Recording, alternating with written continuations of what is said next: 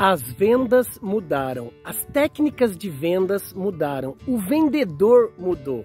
Mas isso só serve para você aí do outro lado da telinha, meu querido amigo, minha querida amiga, empresário, empresária, gestor de vendas e vendedor que é estudioso de vendas. Sabe por quê?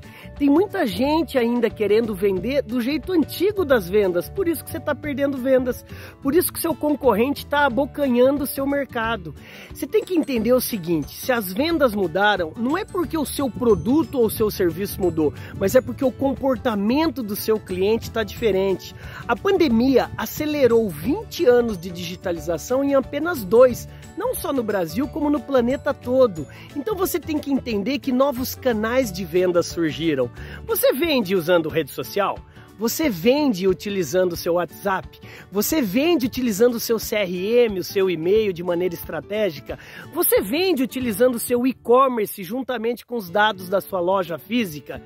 Se alguma resposta foi não, é porque você não entendeu que as vendas mudaram.